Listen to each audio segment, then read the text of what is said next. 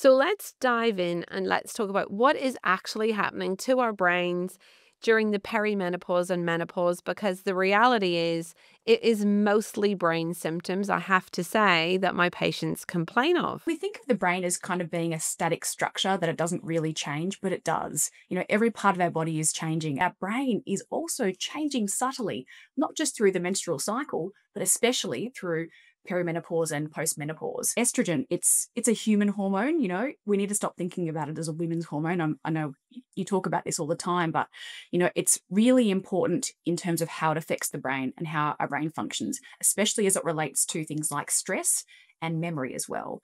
So ultimately the brain and the ovaries are communicating by sharing these hormones. So estrogen, progesterone, testosterone. Um, and they're, you know, ultimately influencing how the brain functions. Ultimately, it leads to our brain having more of these neurotransmitters like serotonin, dopamine, glutamate, oxytocin, right? And all of these neurotransmitters and neuromodulators are really important for changing how our brain functions. It's really important for learning and memory and mood and how motivated we are.